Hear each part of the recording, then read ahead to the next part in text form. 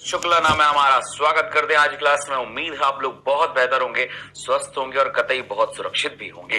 उम्मीद है class last class में पढ़ाई हुई बात है दिमाग में थोड़ी बैठी होंगी। और याद रखना, आप प्रीवियस ईयर क्वेश्चन उठा के देख लो, एम्स उठा लो, नीट उठा लो, जहाँ भी उठाओगे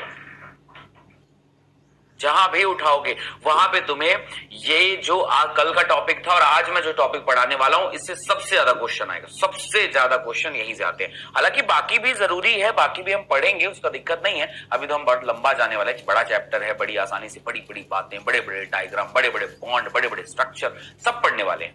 लेकिन जो ये बेसिक जो शुरू में मैं पढ़ा रहा हूँ ना ये मतलब कुछ ज़्यादा ही ज़रूरी है। इसलिए मैं शुरू के पहला पार्ट जो है ना, ये पहला जो आपको डोज दे रहा हूँ, ये डोज पहला ही ज़्यादा ज़रूरी है। तो इसलिए बड़ा ध्यान से इसको सुनते रहना, ठीक है? तो चलो स्टार्ट करते हैं। अब ये हमारा जैव अणु का लेक्चर नंबर टू हो गया और टू में हम बात करेंगे आज कुछ नए विषयों के बारे में, ठीक? तो बायोमोलिक्यूल्स पे लास्ट क्लास में मैंने तुम्हें दो तीन चीज़ें बता दी थी। आज उसके आगे हम चीज़ें पढ़ने वाले हैं। तो लास्ट क्लास में क्या क्या पढ़ा था? मैंने तुम्हें यह समझा दिया था मतलब एकदम समझा के मतलब हो सकता है कि दिमाग में बस जाना चाहिए तुम्हें ये, कि कैसे हमने ये निकाला कि जो भी पदार्थ हैं, उनमें से कौन एसिड सॉल्युबल में मिलेगा, कौन एसिड इनसॉल्युबल में मिलेगा। इसी आधार पर हमने ये देखा कि कौन सा पदार्थ वृहद मॉलिक्यूल अणु है और कौन है लघु अणु है, सूक्ष्म अणु है। उसमें एक अपवाद वशा को भी हमने देखा कि वशा जो है वो सूक्ष्म अणु है, पर मिलता हमको वो वृहद अणु के साथ है। मतलब वो होना चाहिए था। ऐसा नहीं कि वो एसिड सॉल्युबल है। एसिड इनसॉल्युबल ही है, पर वो लघु अणु है वो। उसका आणविक जो है वो भार कम होता है, लेकिन वो स्कंदित हो जाता है जगह इकट्ठा हो जाता है, और वशा में घुलनशील नहीं है दैट्स वाई वो मिलता है हमें वशा अघुलनशील पदार्थ में एसिड इनसॉल्युबल पूल में मिलता है। और जो नीचे मिला, वो तो घुलनशील है ही। तो कहीं पर भी कोई कंफ्यूज नहीं होना चाहिए, सारी बातें बढ़िया ध्यान से पढ़ना। और मतलब जितने भी चैप्टर हैं, तुम जहाँ पे भी कोई केमिकल देखो, उस केमिकल को खोजने की कोशिश करो कि अगर मैं इसको डालूँगा तो एसिड सॉल्युबल में मिलेगा कि इनसॉल्युबल में मिलेगा। तो तुम्हारा कमांड एकदम बढ़िया हो जाएगा। फिर लास्ट क्लास में मैंने आपको ये भी बताया था, हमारे शरीर में कि कितनी कौन कौन सी मात्रा में कौन कौन सबसे ज़्यादा होता है, सबसे ज़्यादा हमारी मात्रा में प्रोटीन होता है, फिर न्यूक्लिक एसिड होता है, फिर कार्बोहाइड्रेट फिर हमारे पास में लिपिड और आयन ये भी हमारी मात्रा में होते हैं। और कोई बहुत बड़ी चीज़ नहीं देखने पे कठिन सा लगने वाला ये फ्लो चार्ट ये डायग्राम थोड़ी देर में आसान लगने लग जाते हैं, कुछ नहीं बचता है फिर। एक और डब्बा पढ़ाया था मैंने अर्थ क्रस्ट का और ह्यूमंस का। तो वो ह्यूमन वाला कॉन्सेप्ट याद कर लेना कि हमारे शरीर में सबसे ज़्यादा जो है वो आ, क्या बोलते हैं कि वो कौन पाया जाता है? तो वो ऑक्सीजन है ठीक है? ऑक्सीजन है फिर कार्बन है फिर नाइट्रोजन है है ना? हाइड्रोजन है कैल्शियम है फिर हाइड्रोजन है है ना? तो सबसे ज़्यादा बड़ा आयंस जो है ना अगर हमारी आ, सेल्स को देखा जाए तो कैल्शियम है लेकिन कोशिका के अंदर जो कोशिका द्रव्य होता है उसमें सबसे ज़्यादा मात्रा में पोटेशियम पाया जाता है ठीक है? ये फिर पढ़ाया जाता है कि वो क्यों पाया जाता है, कैसा फिर चीज़ें आगे समझ में और आ जाएँगी। पोटेशियम ज़रूरी है, पोटेशियम बड़ा इंपॉर्टेंट है और पहले भी प्रश्न पूछे गए हैं। अब आज का टॉपिक हमारा ये है। अब ये देखो, मैंने लास्ट क्लास में जो मैं आपको बताया था, वो तो सारे ऑर्गेनिक पदार्थ थे क्या थे? ऑर्गेनिक मटेरियल ठीक है? तो आज हम देखेंगे कि हम खोज करने वाले हैं, अकार्बनिक पदार्थ का खोज करना है, ठीक है? तो हम क्या बात करने वाले हैं? अकार्बनिक पदार्थ के बारे में बात करने वाले हैं कि अकार्बनिक पदार्थ यहाँ पर होने चाहिए, ठीक है? तो देखो, सबसे पहला चीज़ तो ये कि हमारे पास कुछ पदार्थ थे, कार्बनिक। यार एक कोशिका को देखोगे तो हमें क्या क्या दिखाएगा कार्बनिक पदार्थ जो है, ये जैव अणु है।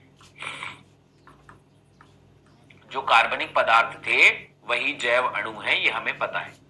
अब कार्बनिक पदार्थ के जैव अणु हैं, वो बने, वो फिर प्रोटीन, लिपिड, वो जो कुछ भी सब पड़े, ये सब कुछ यही तो था। अब मान लो हमें अकार्बनिक पदार्थ निकालना है। क्या निकालना है?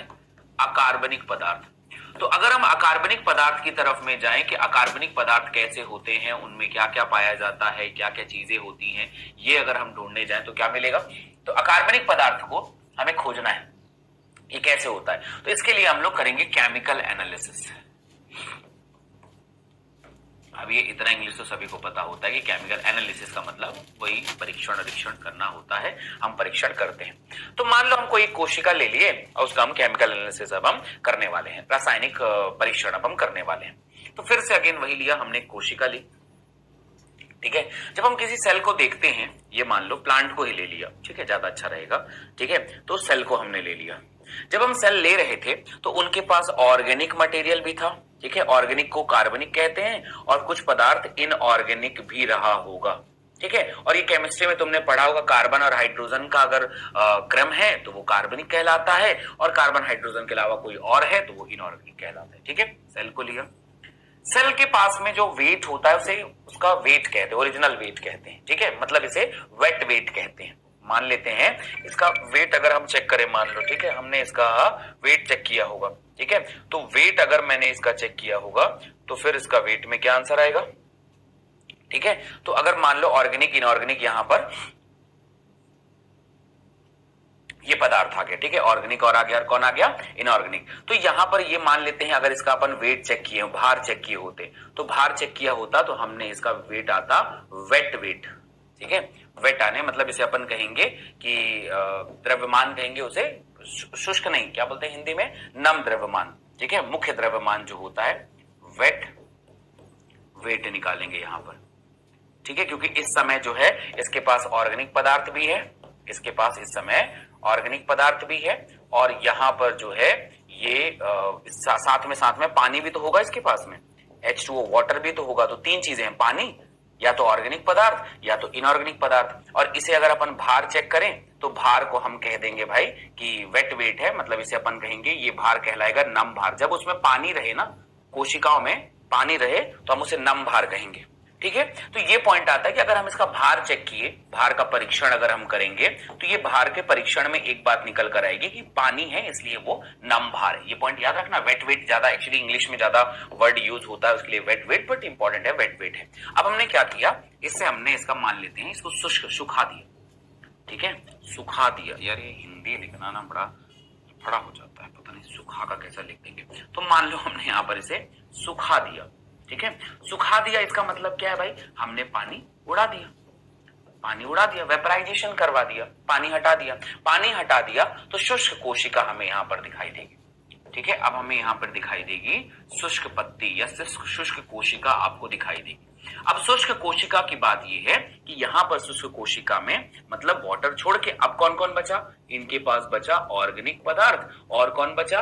इनऑर्गेनिक पदार्थ। ये दो लोग बचे हुए हैं। ठीक है? अब हमने क्या किया? शुष्क कोशिका को बर्न कर दिया।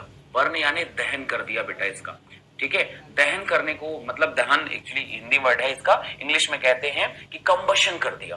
दहन करने से क्या होता है? दहन करने के बाद क्या होता है? हमारे पास जो कार्बनिक पदार्थ होते हैं ना, दहन, ये पॉइंट यहाँ से ऐसा लिख देना है यहाँ पर कि दहन से अब जितने भी कार्बनिक पदार्थ हैं, वो कार्बन और हाइड्रोजन पदार्थ से बनेंगे कार्बनिक पदार्थ ठीक है? तो कार्बनिक पदार्थ में, कार्बनिक दहन से कार्बनिक पदार्थ में कार्बन जो है, वो कार्बन डाइऑक्साइड बन जाता है, हाइड्रोजन जो है H2O बन जाता है, बनकर उड़ जाता है। H2O बनकर बनकर उड़ जाते हैं। उड़ जाते हैं। तो जैसे ही हम जलाएँगे तो हमारा पूरा कार्बनिक पदार्थ जो है वो क्या हो गया? चला गया। तो सारे के सारे कार्बनिक पदार्थ जो हमने जलाए, कार्बन जो थे वो कार्बन डाइऑक्साइड में बन गए, हाइड्रोजन जो है एच बन गए और वो उड़ गए मतलब कार्बनिक पदार्थ उड़ गया। तो बचा क्या होगा? जब कार्बनिक पदार्थ पूरा उड़ ही गया तो बचा हुआ पदार्थ शुष्क कोशिका से बचा कौन? तो सिर्फ़ अब बचा हुआ है इनके पास अकार्बनिक पदार्थ। क्या बचा हुआ है? अकार्बनिक पदार्थ और फिर अब हम इसको खोजेंगे कि वो अकार्बनिक पदार्थ कौन कौन था। तो बेटा, एक बात समझ में आए कि देखो, बड़ा कहानी एकदम सिंपल सा फ्लो चार्ट में ही समझना ज़्यादा लंबा छोड़ा पढ़ने की ज़रूरत नहीं है। सिंपल सा पॉइंट है कि दो चीज़ें यहाँ से हो सकती हैं, ठीक है? और उन दो चीज़ों पे अपना फोकस करना। ठीक है, बर्न कर दिया। तो देखो, हमारे पास एक पत्ती है, एक सेल है, एक कोशिका है। हमने देखा कि कोशिका के पास में तीन चीज़ें हो सकती हैं वाटर ऑर्गेनिक पदार्थ इनऑर्गेनिक पदार्थ हो सकते हैं। जब हम इसे चेक करेंगे तो पता चलेगा कि यह भार वेट वेट कहलाता है। जब उसे सुखा देंगे तो शुष्क कोशिका को जब अपन चेक करते हैं ना तो असल में बिना पानी का जो चेक होता है ना, इसे शुष्क भार कहते हैं ड्राई वेट ये पता लगता है। शुष्क भार कहते हैं इसको, ये भी याद रखना बड़ा इंपॉर्टेंट है। ये शुष्क भार कैसे निकालते हैं? पानी को हटा के बचा हुआ भाग, जिसमें कार्बनिक है और अकार्बनिक पदार्थ है, वो शुष्क भार कहलाएगा। फिर क्या हुआ? पानी को हटाने से ही अब बचा कौन? ऑर्गेनिक और इनऑर्गेनिक इसमें से अब ऑर्गेनिक को कैसे हटाए? ऑर्गेनिक को हटाने के लिए हमने उसमें जला दिया। जलाया तो क्या हुआ? जलाना ऑक्सीजन की उपस्थिति में होता है तो कार्बन जो है वो कार्बन डाइऑक्साइड बन के चला गया। कार्बनिक में द्वैत होता है, कार्बन और हाइड्रोजन। तो जो हमारा कार्बन है, वो वहाँ पर उड़ के चला गया। ठीक है? और अकार्बनिक पदार्थ जो है हमारे पास में, अकार्बनिक पदार्थ बचा रह गया। अब इस अकार्बनिक पदार्थ को हमें खोजना है कि अकार्बनिक पदार्थ क्या है, कैसा है, और उसमें क्या क्या चीज़ें पाई जाती है। ठीक है? ये चीज़ हम, ठीक है? अब ये अकार्बनिक पदार्थ हमें मिल गया। अब इस सवाल का जवाब मतलब क्वेश्चन पूछा जाता है कि अकार्बनिक पदार्थ हो कौन सकता है? ठीक है? तो अकार्बनिक पदार्थ का ना, कभी तुमसे कोई विशेष क्वेश्चन नहीं पूछा जाएगा कि ये अकार्बनिक पदार्थ कौन है, क्या है, कैसा है, ये सब चीज़ नहीं आता है। सिंपल सा क्वेश्चन आएगा कि अकार्बनिक पदार्थ क्या होते हैं। ज़्यादातर इसमें जो है ना मिलियंस नंबर मल्टीपल बहुत सारे आयंस हो सकते हैं। बहुत सारे क्या होते हैं? आयंस ज़्यादातर इसमें आयंस ही होते हैं। तो तुमसे क्या पूछा जा सकता है कि अब आयंस में क्या है? तो मैं आपने को पहले ही बताया कि सबसे ज़्यादा आयंस कौन सा है? पोटेशियम मोस्ट अबेंडेंट ये पूछा जाएगा तुमसे। कि मोस्ट अबेंडेंट मतलब ये होता है कि सर्वाधिक संख्या में पाया जाने वाला आयन कौन सा है? सर्वाधिक पाया जाने वाला आयन सर्वाधिक पाया जाने वाला धन आयन ठीक है? ये याद रखना। यह कोशिका के अंदर इंट्रासेलुलर बोल रहा हूँ मैं यहाँ पर, याद रखना। ये शब्द आएगा इंट्रासेलुलर मतलब अंतर कोशिकी अंतरा कोशिकी एक कोशिका के अंदर, एक कोशिका के अंदर, अंतरा कोशिका जो पदार्थ देखा जाएगा तो पोटेशियम है। बाकी सबका ना परसेंटेज परसेंटेज नहीं पूछा जाएगा और कम का तो कोई लिमिट ही नहीं है। कितना भी कम हो सकता है, दुनिया में इतने सारे कैटायन है तो उन, कितने भी कम हो सकते हैं, उसका कोई दिक्कत नहीं। लेकिन पोटेशियम आयन के प्लस जो है, वो ज़रूरी है। अब ये एक आध चीज़ और पूछी जा सकती है तुमसे कभी कभार कि मान लो जैसे तुम्हें नहीं पता है तो सल्फेट को लिखो तो एसओ फोर माइनस टू है ना? या टू माइनस जिसे हम लिखते हैं। इसके अलावा आपके पास बाई कार्बोनेट आयन है ना? इसके अलावा आपके पास सोडियम आयन, इसके बाद आपके पास मैग्नीशियम आयन। ये सारे के सारे क्या है? यही सब तो है। तो ये लाइन से दो चार अपने हिसाब से लिख लेना कि इस रूप में पाया जाता है ये। अब ये तो केमिस्ट्री का पार्ट है यार। तो केमिस्ट्री में तुम लोग पढ़ लेना कि magnesium M G two plus के फॉर्म में सोडियम एन प्लस के फॉर्म में बाई कार्बोनेट है ये, है ना? सल्फेट है ये पोटेशियम है ये कैल्शियम है ये। यही सब तो अकार्बनिक पदार्थ होते हैं। इनमें कोई मसला ही नहीं। तो अकार्बनिक पदार्थ का यहाँ दिक्कत नहीं, लेकिन निकालते कैसे हैं कार्बनिक पदार्थ को? यह प्रश्न बोला जा सकता है। तो ऐसे में हमने शुष्क भार कैसे निकाला? पानी को निकाल के शुष्क भार आ गया। और दूसरी बात, कार्बनिक पदार्थ को कैसे निकाला हमने उससे? कार्बनिक पदार्थ को निकालने के लिए दहन कर दिया, जला दिया। तो जलाने से वाटर जो है वो हाइड्रोजन वाटर बन गया और कार्बन जो है कार्बन डाइऑक्साइड बन के निकल लिए। कहानी हमारी यहाँ पर कंप्लीट हो गई। पदार्थ की, अणुओं की और अणु के मटेरियल की। एक लाइन में तुम्हें थोड़ा सा हिंट कर दूँ कि कभी कभी जो है ना, ये जो कार्बनिक सॉरी जो सूक्ष्म अणु है और वृहद अणु है। एनसीआरटी जनरली 800 डाल्टन और 800 डाल्टन से कम वाले और 800 डाल्टन से ऊपर वाले लिखती है। तो 800 डाल्टन से कम वाले जो है सूक्ष्म अणु कहलाएँगे और 800 डाल्टन से बड़े वाले जो है वृहद अणु कहलाते हैं। कभी कभी ये डेटा 1000 के आसपास में भी हो जाता है। कभी कभी ये डेटा 1000 के आसपास। तो कभी अगर ऐसा क्वेश्चन दिया हुआ है कि 800 की जगह 1000 ऑप्शन आ जाए तो आंसर 800 ही रहेगा। लेकिन अगर 1000 वाले ऑप्शंस कहीं पर रहें तो आप उसे 1000 भी मान सकते हो। कोई बहुत बड़ा दिक्कत नहीं होती।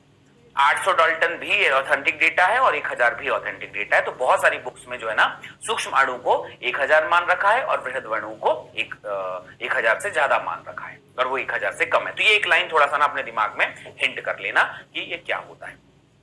अब इन सब चीज़ों के बाद बेटा, एक चीज़ और आती है हमारे पास में कि माइक्रो और मैक्रो मैंने तुम्हें बता दिया कि ये माइक्रो मॉलिक्यूल्स होते हैं और ये माइक्रो मॉलिक्यूल्स होते हैं, दोनों को हम लोगों ने पढ़ रखा है। अब हमारे टॉपिक में इन दोनों के पास में एक चीज़ और आ जाएगी, जैसे मान लो उपापचय पदार्थ। उपापचय पदार्थ, ये कुछ शब्द आते हैं जिसको हमको पढ़ना है और मेरे हिसाब से ना इस टॉपिक का सबसे ज़रूरी टॉपिक भी है उपापचय पदार्थ। यार, जो भी उपापचय में थोड़ा बहुत बनता बनता है, उसे उपापचय पदार्थ कहते हैं। दो प्रकार के होते हैं ये लोग। एक को हम कह देंगे प्राथमिक, ठीक है? एक को हम कह देते हैं प्राथमिक उपापचय पदार्थ। ठीक है? प्राथमिक उपापचय पदार्थ। ठीक है? प्राइमरी मेटाबोलाइट्स कह देते हैं और दूसरे का नाम हो जाएगा, जिसे हम कह देंगे द्वितीयक उपापचय पदार्थ।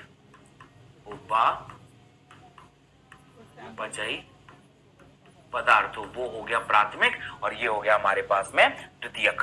ठीक है? वो होगा प्राथमिक और ये हो गया, ठीक है? तो दो प्रकार के हमारे पास में मटेरियल हो सकते हैं। एक तो प्राथमिक उपापचयी पदार्थ और दूसरा द्वितीय उपापचयी पदार्थ। ये एक बड़ा इंपॉर्टेंट सा प्रश्न बनता है इस टॉपिक का। तो इस पे क्या सवाल आते हैं, ये ध्यान दे देते हैं, ठीक है? तो देखो, सबसे पहली चीज़ यार कि प्राथमिक और द्वितीय हम पता कैसे लगाए? प्राथमिक कौन है द्वितीय कौन है? तो प्राथमिक उपापचयी पदार्थ का मतलब ये होता है, प्राथमिक उपापचयी पदार्थ। ऐसे पदार्थ ठीक है? जो जनरली मिलते हैं, जो सामान्य कोशिकाओं में मिलते हैं, ठीक है? ऐसे पदार्थ, इन्हें प्राथमिक उपापचय क्यों कह रहे पदार्थ? ठीक है? तो इसके पीछे रीजन ये है, ऐसे पदार्थ, जो उपापचयी, क्या बोले हमने उसे? डायरेक्टली एक लाइन का डेफिनेशन याद रखने। उपापचयी अभिक्रियाओं में। उपापचयी अभिक्रियाएँ या फिजियोलॉजिकल रिएक्शन याद रखना अभिक्रियाओं में। अभिक्रियाओं या फिर इसे अपन कहते हैं शारीरिकी रिएक्शन या जो भी लिखते होंगे उसे शारीरिकी, मैं इंग्लिश में लिख देता हूँ, वो पॉइंट ध्यान लेना। फिजियोलॉजिकल फिजियोलॉजिकल मतलब संरचना बनाना। फिजियोलॉजिकल रिएक्शन आदि में। डायरेक्ट ठीक है डायरेक्ट का मतलब क्या होता है कि क्या बोलते हैं उसे? प्रत्यक्ष तौर पर। क्या कहते हैं हम इसे यहाँ पर? इसे प्रत्यक्ष रूप से। रूप से भाग लेते हैं। तो ये एक छोटी सी डेफिनेशन हो गई, ये आपके लिए काम आ जाएगा, ठीक है? सो क्या है प्राइमरी मेटाबोलाइट जो डायरेक्टली अभिक्रियाओं में भाग ले डायरेक्टली इनका कार्य पता हो, ठीक है? इनके कार्य हमें पता होने चाहिए, ठीक है? कार्य निश्चित एवं आवश्यक होने चाहिए। कार्य निश्चित एवं आवश्यक होना चाहिए। हमें पता होना चाहिए कि हम ये है क्यों। जैसे प्रोटीन हो गया, कार्बन कार्बोहाइड्रेट हो गया, हमको पता है कि ये क्या कर रहा है, इस अभिक्रिया में क्या कर रहा है, इस अभिक्रिया में इसका क्या रोल है। ये हमें सब पता होता है। तो ये हो गया हमारा कार्य निश्चित होगा और आवश्यक रहेगा। एवं आवश्यक होते हैं। आवश्यक होते हैं। मतलब किसी कार्य के लिए बड़े ज़रूरी से होंगे तो हम उसे कह देंगे कि प्राथमिक उपापचय। है ठीक है? क्या है ये? प्राथमिक उपापचय है। तो ये एकदम सीधा सा कॉन्सेप्ट है कि फिजियोलॉजिकल रिएक्शन में पार्टिसिपेट कर रहा है। शरीर की संरचना बना रहा होगा। हाथ, पैर, नाक, कान, मुँह, त्वचा, कहीं ना कहीं कुछ ना कुछ तो ये बना रहा होगा। तो इसलिए उसे अपन कह सकते हैं कि उपापचय अभिक्रियाओं में भाग ले रहा होगा। ठीक है? निश्चित एवं आवश्यक होगा। इसके अलावा एक पॉइंट और होता है, इसमें जब सबसे ज़रूरी जो चीज़ पूछी जा सकती है कि इसमें आएगा कौन? उदाहरण कौन कौन बोलेगा? उदाहरण हो गया, प्रोटीन। ठीक है? ये जो हमको पता है वशा का फ़ंक्शन हमको पता है कार्बोहाइड्रेट का फ़ंक्शन हमको पता है। ठीक है? कार्बोहाइड्रेट का फ़ंक्शन हमको पता है। तो ये जो जो पता है हमें, वो बड़ी आसान बात हो गई कि यार ये सारे काम जो है, वो प्राथमिक उपापचय करेगा। कौन करेगा? प्राथमिक उपापचय। अब द्वितीय उपापचय पदार्थ जो है अच्छा इसका संश्लेषण होता है। इसका जनरली संश्लेषण होता है। ठीक है? तो ये याद रखना, यह जीवित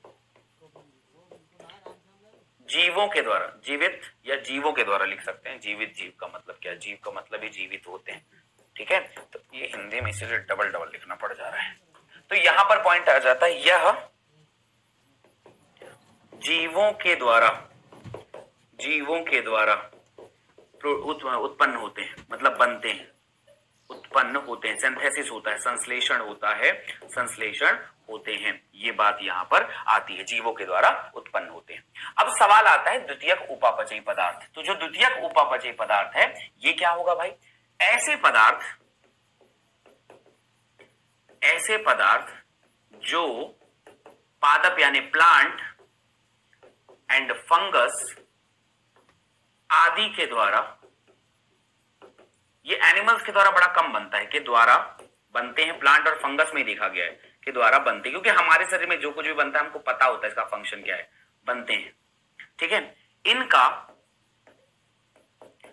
कोई विशेष मतलब ऐसा पता नहीं चलता कि इनका विशेष कार्य क्या है। विशेष मतलब कहना चाहिए फिजियोलॉजिकल फिजियोलॉजिकल का मतलब होता है शारीरिक आकार की फिजियोलॉजिकल इंपॉर्टेंस नहीं होता, महत्व नहीं होता। मतलब ऐसा कुछ स्पेशल महत्व नहीं है कि ये शरीर बना रहा हो, है ना? निर्माण कर रहा हो, महत्व नहीं होता। फिजियोलॉजिकल रिएक्शन नहीं है। मेटाबॉलिक रिएक्शन में भाग नहीं लेते, उपापचय में भाग नहीं लेते। ठीक है? उपापचय में भाग नहीं लेते मतलब संरचना नहीं बना रहे हैं, उपापचय में भाग नहीं ले रहे हैं, नहीं लेता है। तो ये पता नहीं होता क्यों है, नहीं लेगा। उपापचय में भाग नहीं लेगा। आवश्यक है नो डाउट ये भी ज़रूरी होंगे, लेकिन डायरेक्टली कोई रिएक्शन नहीं करवा रहे डायरेक्टली कोई पार्टिसिपेशन नहीं करवा रहे मतलब हमें नहीं पता कि हाथ, कान, नाक, मुँह, त्वचा कहीं कुछ बनाने में नहीं है। हाँ कुछ है। केमिकल है, लेकिन उसका उस प्लांट में क्या रोल है? वो प्लांट में क्या किसी अभिक्रिया में भाग लिया, क्या किसी रिएक्शन करवाया, क्या उससे कोई ऊर्जा मिली, क्या उससे कोई संरचना मिली, ये नहीं पता। ये नहीं पता मतलब नहीं बनाता तभी तो नहीं पता ना। नहीं तो पता चल जाता। तो कोई ऐसा फिजियोलॉजिकल रिएक्शन अभी तक इसका नहीं पता चलता है कि कुछ स्पेशल बना रहा है। जबकि हम जिनका प्राथमिक की बात कर रहे हैं, हमें पता रहता है कि यह संरचना बना रहा है। यह उपापचय अभिक्रिया में ऊर्जा देने का काम कर रहा है। ऊर्जा बना रहा है या ऊर्जा तोड़ रहा है, कुछ ना कुछ तो कर रहा है। जबकि इसके साथ ऐसा बिल्कुल भी नहीं होता। तो इसलिए याद रखना कि जो डायरेक्टली पार्टिसिपेट है, वो प्राथमिक है। और जो इनडायरेक्टली पार्टिसिपेट हो या फिर ना ही पार्टिसिपेट करे तो वो द्वितीय उपापचय होता है। और यही हमको पढ़ना है कि इसमें कौन कौन आएगा? ये द्वितीय उपापचय में कौन कौन आएगा? क्या क्या हो सकता है? ठीक है? तो उपापचय में भाग लेगा। यूजफुल फॉर आवश्यक है? आवश्यक होगा। आवश्यक होगा मानव के लिए। मतलब कहना चाहिए कि आर्थिक तौर पर मतलब बड़ा इंपॉर्टेंस होगा, है ना? आर्थिक महत्व होगा इसका। आर्थिक महत्व है। ठीक है? आर्थिक महत्व है। ठीक है? आर्थिक महत्व तो इसका हो सकता है। मतलब ये आ, काम आ सकता है तुम इसको बेच बेच के कुछ उपयोग कर सकते हो लेकिन तुम्हें ऐसा नहीं लगेगा कि यार ये काम तो थोड़ी होगा इसका। तो ये तुम ये तुम काम का तुम काम खोजे हुए वाला। ठीक है? ये तुम काम खोजे हो कि कोई केमिकल का तुम ड्रग्स बना लो दवाई बना लो लेकिन वो दवाई वो पौधा अपने लिए थोड़ी बनाया होगा। उसको थोड़ी पता था भविष्य में तुम्हें ड्रग्स की आवश्यकता पड़ेगी। तो इसलिए ये द्वितीयक वाला पार्ट है और ये जो है वो प्राथमिक वाला भाग कहलाता है। अब इन दोनों के बीच में एक बड़ा ये बात बहुत पूछी जाती है कि कौन कौन से यहाँ पर इनके द्वितीयक उपापचयी होते हैं। हमको ये पढ़ लेना चाहिए कि द्वितीयक उपापचय कहते हैं और मैं मोस्ट इंपॉर्टेंट टॉपिक पढ़ा रहा हूँ। और उम्मीद है तुम्हें ये समझ में आ गया होगा कि हम किसे प्राथमिक उपपचय करें, किसे द्वितीय जिसका आइडेंटिकल फ़ंक्शन नहीं है। जिसका आइडेंटिकल फ़ंक्शन नहीं है, जिसका कोई फिजियोलॉजिकल पता नहीं है हमें कि वो अभिक्रिया में भाग ले रहा है कि नहीं ले रहा है, उपपचय में भाग ले रहा है कि नहीं ले रहा है, वो हमारा प्राथमिक है द्वितीयक है। और जिसका सब कुछ पता है, वो प्राथमिक है। प्राथमिक लगभग सभी में समान प्रकार के होते हैं। लगभग सभी में समान पौधों में, जंतुओं में, लगभग जितने में भी हैं, उनमें प्रोटीन तो प्रोटीन है वशा तो वशा है लिपिड तो लिपिड है, सब में होता है। लेकिन ये जो द्वितीय उपापचय होते सब में समान नहीं होता है। तो आइए आते हैं द्वितीय उपापचय में द्वितीय उपापचय पदार्थ क्या हो सकता है? तो द्वितीय उपापचय। उपापचय तो द्वितीय उपापचय पदार्थ। ये क्या हो सकता है? ये अभी हम देखेंगे। द्वितीय उपापचय पदार्थ। ये पार्ट आएगा हमारा। तो इस पदार्थ में अगर हम देखें कि द्वितीय उपपचय पदार्थ क्या क्या जनरली कर सकता है तो हम दो ही चीज़ देखते हैं कि ये पदार्थ है और ये वो रिएक्शन है जो करने वाला है, जो होगा यहाँ पर, ठीक है? तो इस पे अपन पॉइंट बना लेते हैं। अब पॉइंट बनाएँगे तो हेडिंग कर लेते हैं इसका सभी चीज़ों का। तो हमारे पास जैसे मान लो कुछ खास केमिकल है, उनका नाम फटाफट फटाफट फटाफट हम लिख लेते हैं, ठीक है? तो सबसे पहले मान लो हमारे पास कुछ वर्णक है है ना? मान लो हमारे पास में कुछ वर्णक है वर्णक का मतलब हो गया बेटा पिगमेंट है ना? अभी इंग्लिश में भी पढ़ना चाहो तो पढ़ सकते हो बट नहीं तो कोई ज़रूरत नहीं है। जैसे एक आता है कैरोटीनाइड ठीक है? कैरेटिनॉइड जिसे अपन कहते हैं, और इसके अलावा एक और वर्ड आ जाता है, जिसे अपन कहते हैं जेंथोफिल अब देखो, ये जो है ना कैरोटिनॉइड्स एंड जेंथोफिल जो है, और इसके अलावा फाइकोसाइनिन एंथोसाइनिन एंथोसाइनिन ये आते हैं। तो जेंथोफिल के तो फिर भी थोड़े बहुत फ़ंक्शन है। एंथोसाइनिन के कुछ खास फ़ंक्शन यहाँ पर नज़र नहीं आते हैं, ठीक है? जेंथोफिल के थोड़े बहुत फ़ंक्शन है, वो याद रखना। ये दो एनसीआरटी लिख रखे हैं, दो ही लिखो। तीसरा फिर अभी बताऊँगा बाद में कि जेंथोफिल क्यों नहीं है। तो ये दो शब्द आप देखे होगे आपने कि एंथोसाइनिन जनरली जो है ना, वो बनाता है क्या? मतलब जो हमारे पेटल्स होते हैं ना, पंख पौधों की मतलब क्या बोलते हैं प्लांट की पंखुड़ियाँ। पंखुड़ियाँ होती हैं, उसका रंग बनाता है। अब रंग हमको देखने में बड़ा सुंदर लगता है, वो भौरे को भी अट्रैक्ट करता है, लेकिन क्या उसका कोई फिजियोलॉजिकल रिएक्शन है? क्या उससे कोई उपापचय अभिक्रिया कर रहा है? क्या उसके शरीर में उसका कोई खास फ़ायदा हो रहा है? कि सिर्फ़ परागण करने के लिए उसने अपने आप को रंग को बदल दिया। गाजर का लाल रंग या फिर वो ऑरेंज कलर का गाजर जो दिख रहा है, उसका गाजर में क्या कोई अभिक्रिया हो रही है? नहीं पता चलता। तो ये कैरोटिनाइड्स गाजर का रंग बनाता है, एंथोसाइनिन जो होता है वो पेटल्स का रंग, यानी दलपुंज का रंग बनाता है। बाह्य दलपुंज का, सॉरी, बाह्य दलपुंज का रंग बनाता है। तो उस रंग का, उसकी अभिक्रियाओं से कोई खास लेना देना नहीं होता तो वर्णा कहा जाता है। इसके बाद एक आ जाता है एसेंशियल ऑयल्स इसे अपन कहते हैं। तो इसे अपन कहते हैं आवश्यक एसेंशियल ऑयल आवश्यक तेल। ठीक है? आवश्यक तेल मतलब कुछ विशेष प्रकार के तेल हैं, जिसे हम लोग एसेंशियल मानते हैं, लेकिन वो एसेंशियल है कि नहीं, वो, वही जाने। लेकिन आवश्यक तेल हम मान लेते हैं, ठीक है? इसे कहा जाता है लेमन ग्रॉइस ग्रास ऑयल मतलब इसे हम क्या कहेंगे हिंदी में? लेमन यानी नींबू, ठीक है? नींबू, घास का तेल। ठीक है? ये आ, मतलब ये काम करता है नींबू और घास का तेल जो वर्ड आता है ये लेमन ग्रॉस ऑयल है ये एसेंशियल ऑयल्स में आता है। ये आपसे क्रॉस क्वेश्चन में बहुत पूछा जाएगा ठीक है? वो जब आएँगे ना क्या नाम है उसका? मैच दी फॉलोइंग तो ऐसे में बहुत क्वेश्चन पूछे जाएँगे कि आवश्यक तेल कौन सा है? तो याद रखना आवश्यक तेल जो है लेमन ग्रास ऑयल है नींबू का ऑयल है। इसके बाद एक आता है इसे अपन कहते हैं टर्पिनॉइड्स टर्पिनॉइड अब टर्पिनॉइड तो वही जाते हैं ना टर, टारपीन वारपिन सुने ना? वही होता है टर्पिनॉइड तो ये भी सेकेंडरी मेटाबोलाइट्स हैं। इसमें क्या होता है? इसके दो प्रकार होते हैं। एक का नाम होता है मोनो टर्पिनाइड मोनोटर्पिनाइड टर्प, टर, टर्पीन इसे अपन कह सकते हैं टर्पियन अब ये हिंदी में बड़ा मुश्किल हो जाता है लिखना। इंग्लिश अलग नाम अलग। मोनो टर्पीन मोनोटर्पिन ठीक है? और उसके बाद एक और वर्ड आता है डाइटर्पिन तो ये तो इतने, ये तीन जो है ना तुम्हें एकदम आसानी से याद हो जाएँगे। देखो यार मतलब तेल बोला है तो नींबू का घास तेल है। मतलब तुमसे क्रॉस क्वेश्चन पे ही पूछेगा वो ऐसा करके, है ना?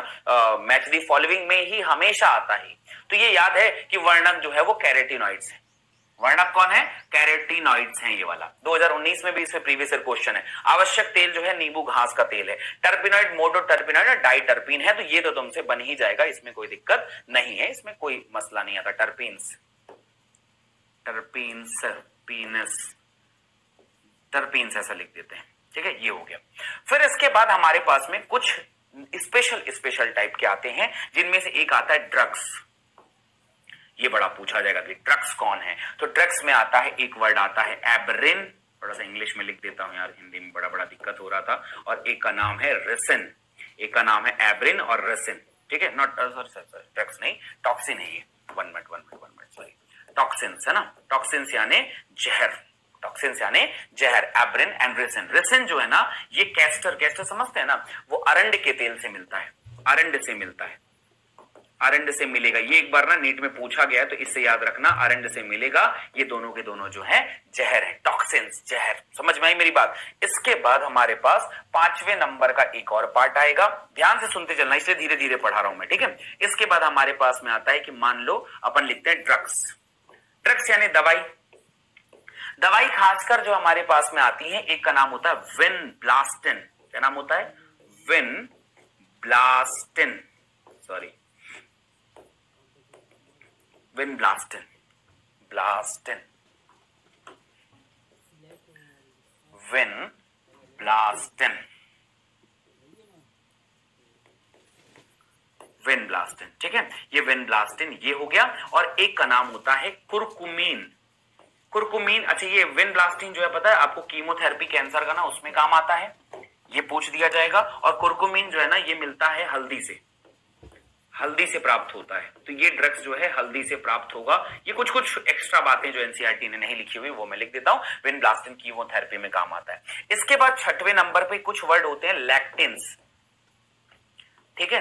तो लैक्टेंस जो है, अरे यार लैक्टेंस ऐसे लिखेंगे। इंग्लिश में लिख दो क्या? ये हिंदी का मेरे को नहीं रहा है। यहाँ पर लैक्टेंस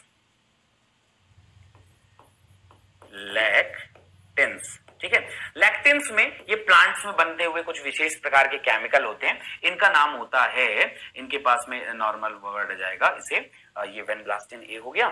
ये कुकुरमिन हो गया और लैक्टेंस वाले पार्ट में इनके पास में जनरली ये हम हमेशा कौन कैनाविलिन ए लैक्टेंस जो होता है, उसे कहते हैं कौन कैनाविलिन ए ये नाम आ गए ये 2019 का क्वेश्चन है।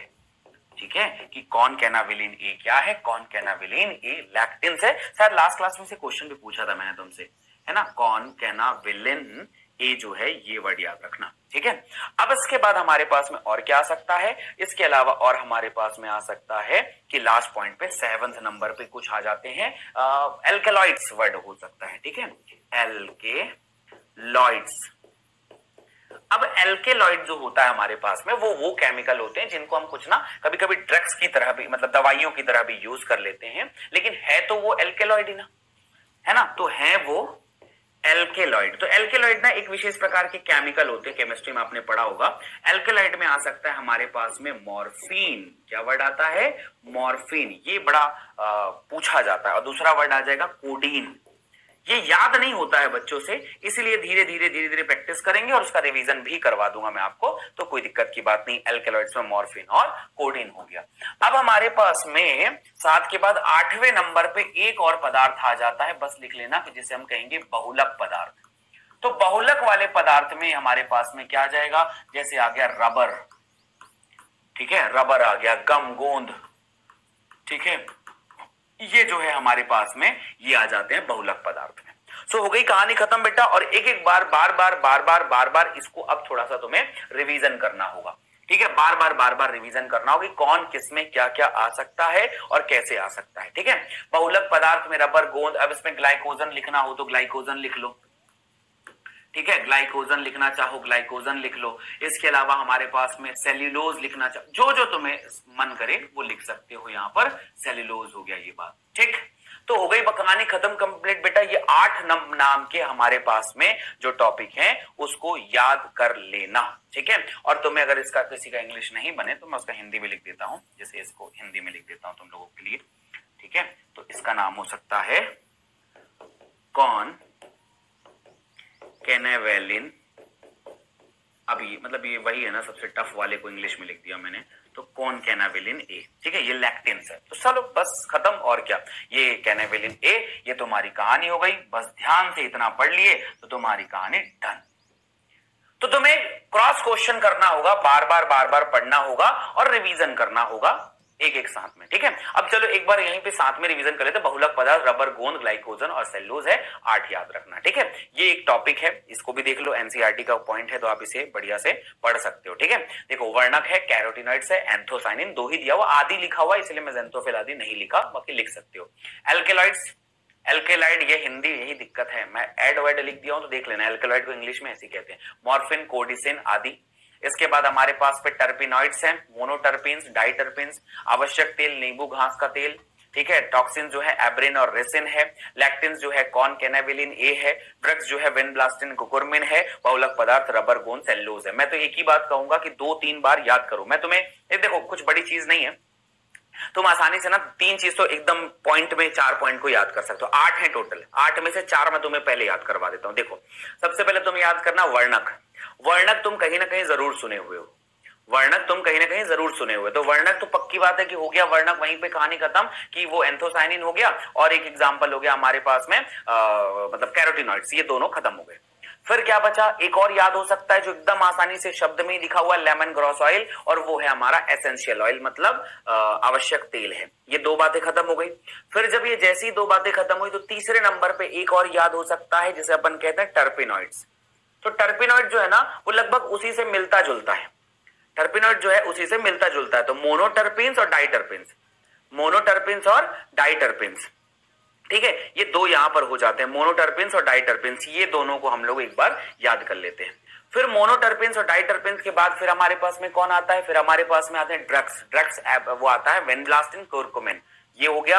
फिर हमारे पास आते हैं आ, मतलब टॉक्सिन पदार्थ एब्रिन और रेसन टॉक्सिन पदार्थ कौन है? एब्रिन और रेसिन। ये दो हो गए। फिर आ गया हमारे पास में एल्कलॉइड मॉर्फिन एंड कोडिन ठीक है? फिर हमारे पास में आ गया हमारे पास बहुलक। बहुलक पदार्थ में ये जो बचा कौन सा? रबर, गोंद, ये सारी चीज़ें आ जाती हैं। तो बस एक बार ध्यान से बस इसको अच्छे से पढ़ने का है। कहानियाँ एकदम आसानी से बन जाएँगी। ठीक है? तो टॉपिक यहाँ पर ध्यान रखिए इसको। अच्छे से एक बार रिवीजन करना क्योंकि ज़रूरी टॉपिक है। बड़ा इंपॉर्टेंट सा टॉपिक है। इसको बढ़िया ध्यान से पढ़ लेना एक बार। ठीक है?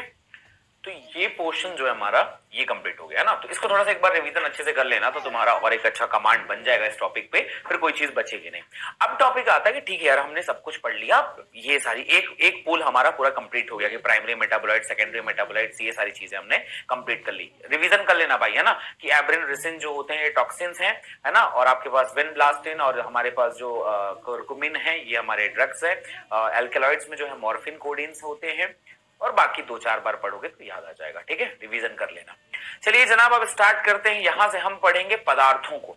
तो पदार्थों में अभी जो मैं आपको बताने वाला हूँ, सबसे पहले अमाइनो एसिड फिर कुछ ग्लूकोज और फिर कुछ छोटे छोटे पदार्थ जो है ना, उनके बारे में आज हम बात करेंगे। ठीक है?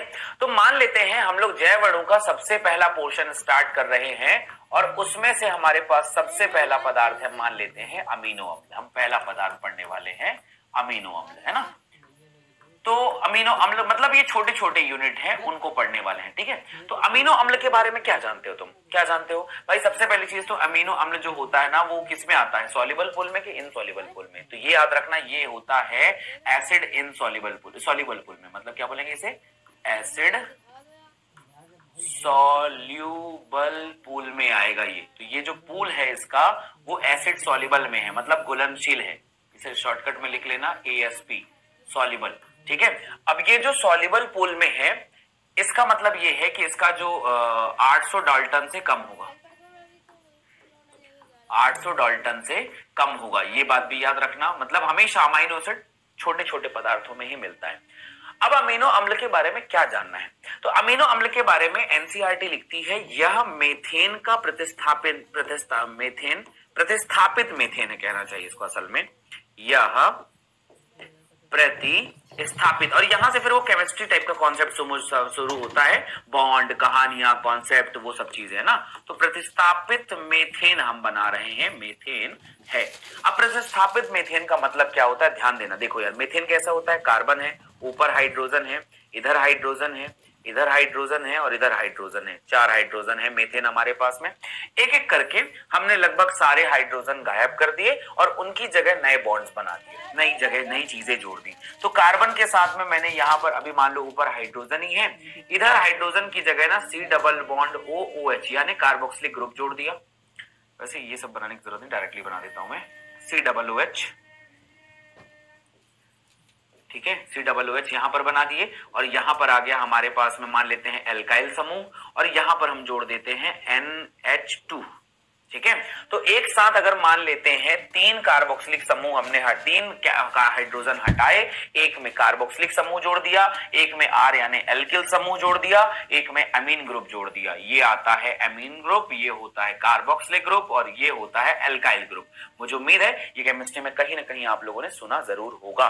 तो ये जो तीन चीज़ें जोड़ दी तो मेथेन का प्रतिस्थापन करके हमने यहाँ पर अमीनो अम्ल बना लिया।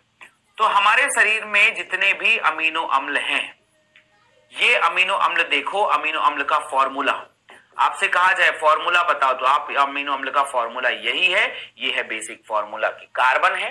कार्बन के एक तरफ़ कार्बोक्सिलिक समूह कार्बन के एक तरफ़ एमीन समूह कार्बन के एक तरफ़ हाइड्रोकार्बन वाला एल्किल समूह और हाइड्रोजन एल्किल मतलब क्या होता है? C S three C two H five C three S seven यही सब तो एल्किल है, और क्या यही सब जुड़ता हुआ चला जाएगा। ये अमीनो एसिड का फॉर्मूला हो गया। और डिटेल करें। तो पता ये चलता है भाई कि अब इसके बारे में बताओ कि क्या क्या जानते हो। तो अमीनो अम्ल के गुण के। अब यहाँ पर टॉपिक आ जाएगा अमीनो अम्ल की प्रॉपर्टीज़ अम्ल की प्रॉपर्टी की कौन कौन सी मेन मेन प्रॉपर्टी यहाँ पर आप इस फॉर्मूले में देख पा रहे हो प्रॉपर्टी तो जैसे मान लो हमारे पास कार्बन है, ऊपर की तरफ़ में हाइड्रोजन है, इधर की तरफ़ में मान लेते हैं एल्किल समूह है सी डबल बॉन्ड ओ है और मतलब सी डबल बॉन्ड ओ है और एच और ओ OH है और इनके पास में हम मान लेते हैं एन एच टू तो आपको ये बताना है सबसे पहले कि कौन कौन से समूह तुम्हें यहाँ पर दिख रहे हैं। तो आर का मतलब पहले ये बताना भाई कि आर का मतलब होता है एल्काइल ग्रुप है ना? मतलब इसके अपन हिंदी में कह देते हैं एल्किल समूह। और एल्किल का मतलब होता है क्या यार? कार्बन एल्किल समूह। ये पहली बात हो गई। दूसरी बात हो गई सी डबल ओ एच जो होता है, ये हमारा समूह है कार्बोक्सिलिक ठीक है? कार्बोक्सिलिक समूह है ये हमारे पास में। दूसरा समूह हमारे पास में क्या है बेटा जी? NH2 एमीन ग्रुप है ये। ठीक है? एमीन समूह है हमारे पास में। और एच तो है ही हाइड्रोजन H क्या है हमारे पास? हाइड्रोजन तो चार समूह है हमारे पास में, ये याद रख लेना। अब इसकी प्रॉपर्टीज़ में अगर हम देखें तो क्या क्या समझ में आता है? तो देखो, मैं तीन बात बताता हूँ आपको, इसके पास में है क्या क्या सबसे पहली चीज़ एक कहते हैं, इनके पास अल्फ़ा कार्बन होता है। अब तुमने कभी केमिस्ट्री पढ़ा हो तो तुम्हें पता होगा, ये है क्रियात्मक समूह कार्बोक्सिलिक समूह सबसे बड़ा समूह है। इसके बाद का जो पहला कार्बन होता है उसे अल्फ़ा कार्बन कहते हैं। तो तुमसे सबसे पहले पूछे जाएगा अमीनो एसिड में क्या होता है? इसमें अल्फ़ा क्या बोला मैंने इसमें? अल्फ़ा कार्बन युक्त होता है। होता है। ठीक है? और इस वजह से इन सभी के सभी को हम कहते हैं अल्फ़ा अमीनो अम्ल। ये पहली प्रॉपर्टी है जो किसी हम अमीनो एसिड में देखते हैं। उसका नाम है अल्फ़ा अमीनो एसिड। क्यों? क्योंकि यार उसके पास अल्फ़ा कार्बन है। और क्या होता है अल्फ़ा कार्बन? ये तुम केमिस्ट्री में पढ़ोगे। मैंने हिंट कर दिया, क्रियात्मक समूह के बाद वाला पहला कार्बन अल्फ़ा कार्बन होता है। दूसरी चीज़ एक और खास बात होती है कि मान लो इसे हम लोग घोल दिए कहीं पर। दो समूह दिख रहा है। दो समूह दिख रहे ये पहला प्रॉपर्टी हो गया। दूसरा प्रॉपर्टी ये होता है कि मान लो हमारे पास कार्बन है और ऊपर में H लिखा हुआ है, फिर अगेन वही बात हो गई सी डबल ओ एच और यहाँ पर ओ OH इधर पे होता है, मान लेते हैं NH2 ये पार्ट आता है और यहाँ पर एल्किल समूह है। मान लेते हैं इसको हमने किसी पानी में घोला। जब वाटर में हम इसे डिजोल्व करते हैं ना तो क्या है? इनके पास दो अलग अलग प्रकार के आयन आते हैं। तो जब दो अलग अलग प्रकार के आयंस देखे जाए तो असल में क्या होता है? जैसे मान लो पहली बार में कार्बन है मतलब अगर डायरेक्टली बता दू यार, क्योंकि इसके ऊपर ना ज़्यादा स्ट्रक्चरली डायरेक्टली क्वेश्चन नहीं आएगा। जितनी चीज़ मैं बता रहा हूँ, बस उतना डायरेक्टली इसीलिए बता देता हूँ। सी डबल बॉन्ड ओ और ओ आ जाता है माइनस इसने हाइड्रोजन को डोनेट कर दिया। ये हो गया अभी एल्किल समूह। और ये होता है एमीन समूह, इसने एक एक्सेप्ट कर लिया, ये पॉजिटिव हो अब अगर तुम्हें एक बात ध्यान दी जाए कि जो कार्बोक्सिलिक समूह है जो कार्बोक्सिलिक समूह है ये एसिड समूह है ये जल पे घुलने पर हाइड्रोजन डोनेट करता है तो इसलिए इसके पास में बचा H और ये क्षारीय समूह है ये H प्लस को एक्सेप्ट करता है। ये दो बातें एकदम कहीं ना कहीं हमें पता रहनी ही चाहिए। वो लुइस आरेनियस पता नहीं कौन सा रूल है लेकिन रूल है। तो यहाँ पर याद रखना जो H प्लस को डोनेट करता है वो अम्ली ग्रुप होता है जो H प्लस को एक्सेप्ट करता है वो क्षारी ग्रुप होता है ये बात पता रहती है। तो इस तरीके से इसने O को डोनेट किया और इसने H को एक्सेप्ट कर लिया। एक बार ये डोनेट करेगा ये मान लो एक्सेप्ट कर लिया। तो जब भी हम जल में घोले में वो, वो जल में घुलनशील होने पर एक साथ ये देखा जाता है कि एक ही अमीनो अम्ल में दो प्रकार की प्रवृत्ति है क्षारीय भी है और अम्लीय भी है। प्रोटॉन को डोनेट करने की भी प्रॉपर्टी है प्रोटॉन को एक्सेप्ट करने की भी प्रॉपर्टी है। जब दोनों प्रॉपर्टी किसी एक के पास में अगर यहाँ पर रहे तो हम इस तरीके की कंडीशन को हम कहते हैं बेटा जी ज्वीटर आयंस क्या कहते हैं इसे यहाँ पर इसे? ज्वीटर आयन तो दूसरी प्रॉपर्टी आपसे पूछा जाएगा कि अमीनो अम्ल में ज्वीटर आयंस होते हैं। और आप अगर कुछ करने की ज़रूरत नहीं है, बस इतना बता देना भाई कि ज्वीटर आयन मतलब एक ऐसा आयन जहाँ पर ज्वी टर आयन मतलब एक ऐसा आयन जहाँ पॉजिटिव और नेगेटिव दोनों समूह एक ही कार्बन पे प्रेजेंट रहे, उसे अपन ज्विटर आयन कह देते हैं। ये दूसरी प्रॉपर्टी हो गई कि इनके पास ज्विटर आयन पाया जाता है। पहला तो हो गया अल्फ़ा कार्बन और दूसरा बात हो गया हमारे पास ज्विटर आयन की ये चीज़ पाई जाती है। और सामान्य मतलब आप बस ये याद रखना कि जल में घुलने पर दो प्रकार से प्रॉपर्टी हो सकती है, या तो अम्लीयता वाली, या तो क्षारीयता वाली। तो जो अम्ली अभी तो सबको पता है यार, ये अम्ली समूह है, ये क्षारीय समूह है। अम्ली समूह वाला जो है उसे अम्लीयता प्रदान करता है, क्षारीयता। तो एच प्लस डोनेट करेगा एक्सेप्ट करेगा। वो माइनस समूह है, ये प्लस समूह है। स्वीटर एंड मतलब पक्की बात है यहाँ पर प्लस और माइनस एक साथ उपस्थित, एक साथ उपस्थित है। अब जैसे मान लो एक साथ उपस्थित है तो हम उसे कह दिए कि यार अच्छा ठीक है, ये जो है स्वेटर आयन है। ओके तो ये पार्ट हमारे पास में बन जाता है इस तरीके से। अब सवाल आता है तीसरी बात। ये भी ना आप लोग केमिस्ट्री में ही पढ़ेंगे, लेकिन एक बात ये आती है जैसे मान लो कार्बन है हमारे पास, ऊपर में हाइड्रोजन है, फिर यहाँ पर हो गया सी डबल बॉन्ड ओ और ये हो गया ओ एच यहाँ पर लिखा हुआ है आर अब यहाँ पर हो गया मान लो एन एच टू एक शब्द आता है, जिसे अपन कहते हैं किरिलता किरिलता। ठीक है? किरिलता का मतलब होता है अध्यारोपित होना एक दूसरे के ऊपर में। तो चार अलग अलग प्रकार के यहाँ पर आपको समूह दिखाई दे रहे हैं। और चार अलग अलग प्रकार के समूह होने की वजह से जब एक अमीनो एसिड को दूसरे अमीनो एसिड के ऊपर उसे ध्रुवणता कहते हैं ना, जो उनके पास रोटेट करेंगे, एक के ऊपर एक डालेंगे तो वो कभी अध्यारोपित नहीं होता है। चारों अमीनो एसिड अलग अलग अमीनो एसिड ग्रुप जो है वो चारों अलग अलग है। तो यहाँ पर पॉइंट आता है, एक और चीज़ आ जाती है, जिसे अपन कहते हैं किरियलिटी किरेलता किरेलता और किरेलता का मतलब यह होता है कि एक अमीनो अम्ल। ये केमिस्ट्री में तुम लोग डिटेल पढ़ोगे यहाँ पर, ठीक है? एक अमीनो अम्ल, दूसरे अमीनो अम्ल पर, अम्ल संरचना पर अध्यारोपित नहीं होगा, पर अध्यारोपित अध्यारोपित का मतलब समझते हो क्या होता है? अध्यारोपित नहीं होगा। इसका मतलब ये है कि मान लो हमने ये बनाया चार है, ठीक है? अब दूसरा अमीनो अम्ल अगर हम लोग देखें तो वो एक दूसरे के बराबर प्रतिबिंब कभी नहीं बनेंगे, ठीक है? बराबर प्रतिबिंब नहीं बनते हैं एग्जैक्ट प्रतिबिंब। अब जैसे मान लो इसका बनाएँगे तो दूसरा उसका प्रतिबिंब NH2 आ जाएगा, ठीक है? जैसे एग्ज़ाम्पल के लिए प्रतिबिंब बनाओ यहाँ पर, ठीक है? प्रतिबिंब बनता है यहाँ पर मान लो। तो यहाँ पर कार्बन हो गया, ऊपर में फिर जो होता है मतलब जो कार्बन के साथ में यहाँ पर डबल बॉन्ड है ठीक है, मान लेते हैं कार्बन है, कार्बन के साथ यहाँ पर डबल बॉन्ड है, ये ओ OH है, यहाँ पर H है, यहाँ पर R है और यहाँ पर NH2 है। देखो प्रतिबिंब बना क्या? ये जो है मान लेते हैं मिरर है, आईना। ठीक है तो इस मिरर में प्रतिबिंब बना क्या? बिल्कुल नहीं। एकदम अपोजिट है दोनों। तो ये जो है एक दूसरे के प्रतिबिंब बन ही नहीं सकते। तो ये प्रतिबिंब नहीं बन सकते, इसलिए इसको किरेलता कहते हैं।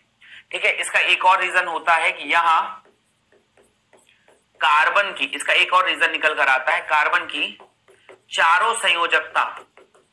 ये भी प्रॉपर्टी प्रॉपर्टी है। संयोजकता, जब सारी संयोजकता जो है अलग अलग क्या बोला मैंने इसे? सारी संयोजकता जो है अलग अलग समूह से अलग अलग प्रकार के समूह से पूरी हुई हो। उनकी संयोजकता पूरी करने के लिए पूरी हो। हम उसे क्रियालिटी कहते हैं। क्या कहते हैं उसे? क्रियालिटी कहते हैं। तो जहाँ पर भी ये चीज़ें जोड़ी जाती हैं, जहाँ पर भी ये चीज़ें बनती हैं, उस समूह को हम लोग यहाँ पर जोड़ने का काम करते हैं और इस तरीके से ये चीज़ें बनती है। जो संयोजकता वहाँ पर हो रही है, कार्बन की चारों तरफ़ संयोजकता बनती है, इसे अपन किरेलता कहते हैं। तो ये तीन प्रॉपर्टी आपको हमेशा देखना, तीन प्रॉपर्टी हमेशा आपको दिखाई देगी और ये तीसरी ही प्रॉपर्टी आपके पास में याद रखना, आपके किसी भी अमाइनो एसिड में रहती है और वो आपको याद रहना चाहिए क्योंकि इसके बिना कहानी नहीं बन पाएगी। तो केयरलिटी का कॉन्सेप्ट ऐसे तरीके से आप याद रखो कि चीज़ें आपको बननी चाहिए, ठीक है? अब ये तीन प्रॉपर्टी के आधार पर, यहाँ इन्हीं आधार पर कुल मतलब आर के आधार पर आर परिवर्तित रहता है। बाकी सभी समान रहेंगे। परिवर्तित रहता है। ठीक है? अब आर बस बदलता है, बाकी सब समान रहेगा। हमेशा, हर अमाइनो एसिड में यहाँ कुल आर के आधार पर, यहाँ आर के प्रकार पर, प्रकार के, जितने प्रकार के आर रहेंगे, आधार पर कुल 21 अमाइनो एसिड हैं। कुल 21 अमीनो अम्ल है। मतलब पाए जाते हैं कितने टोटल 21 अमीनो अम्ल पाए जाते हैं और वो इक्कीस इक्कीस अमीनो अम्ल कौन है? वो फिर हम लोग यहाँ पर देखेंगे और उसको अपन पढ़ने वाले को इक्कीस अमीनो अम्ल कौन है, कहाँ है, कैसे रहता है क्या क्या चीज़ें उसके पास होती हैं और कैसे हमको पढ़ना रहता है। ठीक है? तो चलिए स्टार्ट करते हैं यहाँ पर। तो सबसे पहला चीज़ एक बड़ा इंपॉर्टेंट सा पूछा जा सकता है इस टॉपिक के ऊपर में। जैसे अपन कहते हैं बायोसेंथेसिस ठीक है? बायोसेंथेसिस ऑफ़ अमीनो अम्ल। तो देखो भाई, हमारे शरीर में अमीनो अम्ल ना दो प्रकार के होते हैं। अमीनो एसिड दो प्रकार के होते हैं। एक को बोलते हैं आवश्यक, एक को कहते हैं अनावश्यक। एक की ज़रूरत होती है और एक की ज़रूरत नहीं होती। अब ये ज़रूरत और ना ज़रूरत की बात क्या होती है कि मान लो कुछ अमीनो एसिड हमारे शरीर में बन जाते हैं। जो बन जाते हैं, वो आवश्यक नहीं है। जो नहीं बन पाते तो फिर क्या करना पड़ेगा? हमें अपने भोजन से उन्हें लेना पड़ेगा। वो एसेंशियल होते हैं, आवश्यक। तो ऐसे अमाइनो एसिड जिसे हम अपने भोजन में खाते हैं, वो आवश्यक हो गए। जो नहीं खाते, वो आवश्यक नहीं है, वो अनावश्यक है। तो वो हमारे शरीर में ही बन जाता है। जिसको हम नहीं खा रहे हैं, वो हमारे शरीर में ही बन जा रहा है। या तो जो हमने खाया है, उसी को परिवर्तित करके बना लेगा। मतलब बना तो लेगा। अब ये तो बात हो गई हमारी। लेकिन पौधों में कैसे होता है? तो पौधे क्या करते हैं भाई? पौधे सिंथेसिस करेंगे, संश्लेषण। और संश्लेषण करने के लिए इनके पास में कुछ नई नई चीज़ें होती जिसे अपन कहते हैं कीटो एसिड्स, और ये बड़ा इंपॉर्टेंट सा पॉइंट होगा। इसको बड़ा ध्यान से समझना, ठीक है? So biosynthesis of amino acid in plant तो मान लो सबसे पहले मैं बताने जा रहा हूँ आपको प्लांट्स के बारे में, कि प्लांट्स में ये कैसे हो रहा होगा। प्लांट्स में ये कैसे हो रहा होगा प्लांट्स में यहाँ पर याद रखना। तो ये याद रखना इन प्लांट्स यह अल्फ़ा कीटो अम्ल की मदद से होता है। अम्ल की मदद से होता है। ठीक है? यह कीटो अम्ल की मदद से होता है। कीटो अम्ल जो है, यहाँ पर इंपॉर्टेंट रोल प्ले करता है। ठीक है? कीटो अम्ल की मदद से होता है। कीटो अम्ल क्या होता है? थोड़ा गौर करना मेरी बात पे, ठीक है? कि कीटो अम्ल क्या है और कैसे हम इसको बनाएँगे। तो देखो यार, कीटो अम्ल का मतलब होता है, पहले इनके पास आर हुआ करता था सी डबल बॉन्ड ओ हुआ करता था और सी डबल ओ एच था और यहाँ पर आर था। एक समूह कीटोन का समूह था और एक अम्ल का समूह था यह हमको पता होना चाहिए।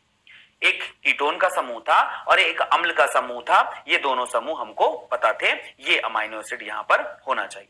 इससे हमें बनाना है। अब इससे हमें बनाने के लिए हमने क्या किया?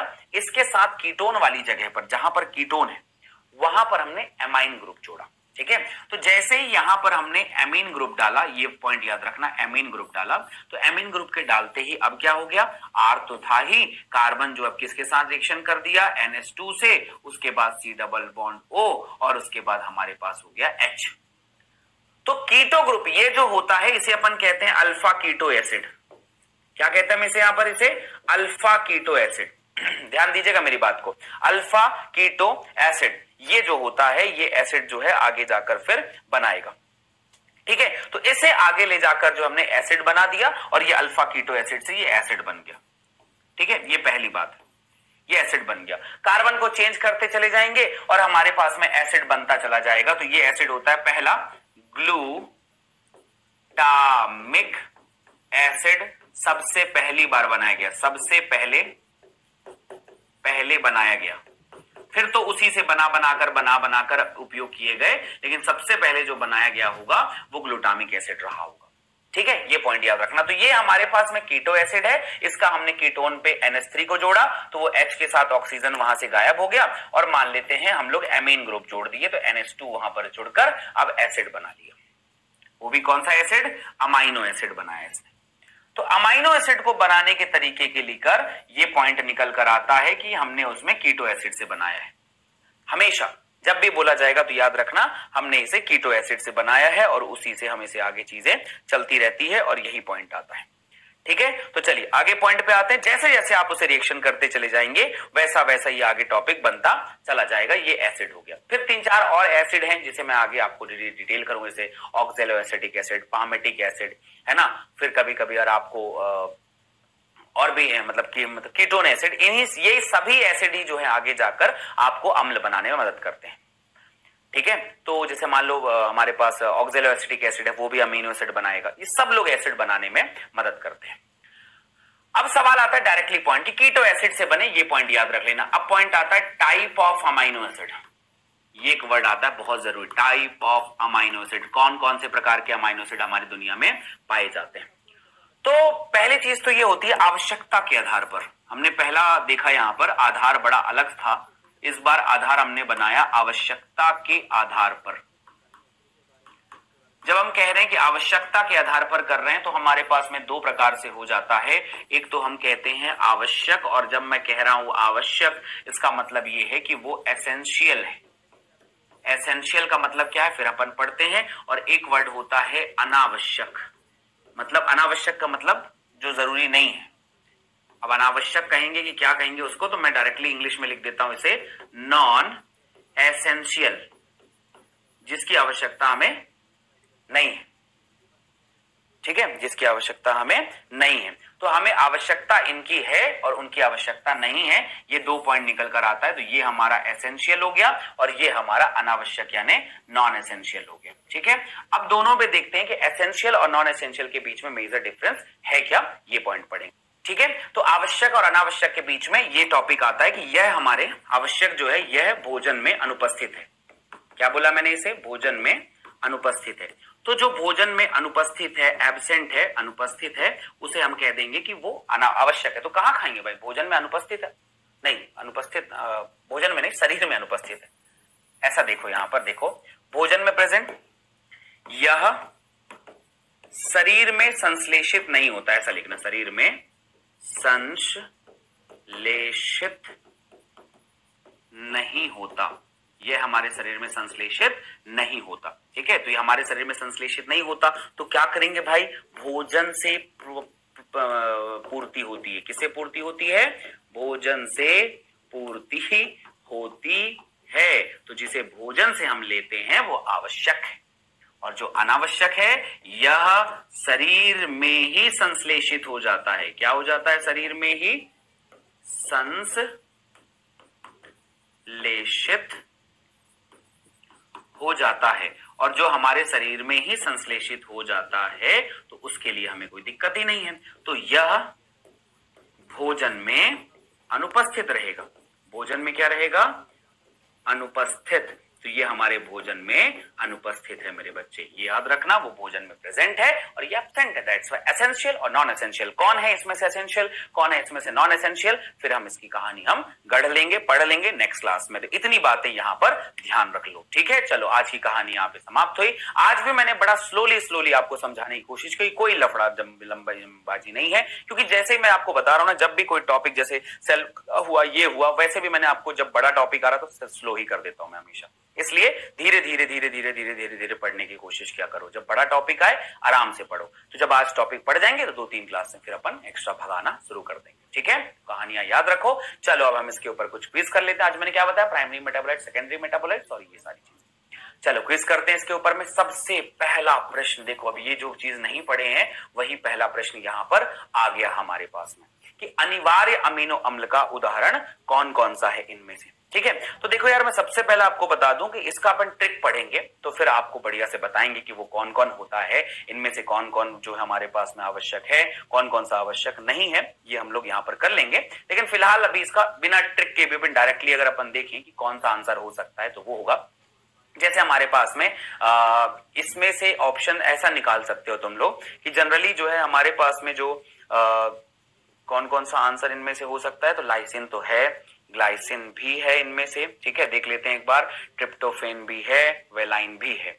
इसमें जो हिस्टामिन है हमारे पास में, वो भी आंसर है इनमें से, ठीक है? हिस्टामिन हो सकता है, बिल्कुल हो सकता है। इसके बाद वेलाइन भी है, लाइसिन है, ट्रिप्टोफेन भी है। अनिवार्य अमीनो अम्ल का, ठीक है? मतलब एसेंशियल जो हमारे पास अमाइनो एसिड है, वो कौन कौन हो सकता है? फिनाइल एलिन है, सही बात है।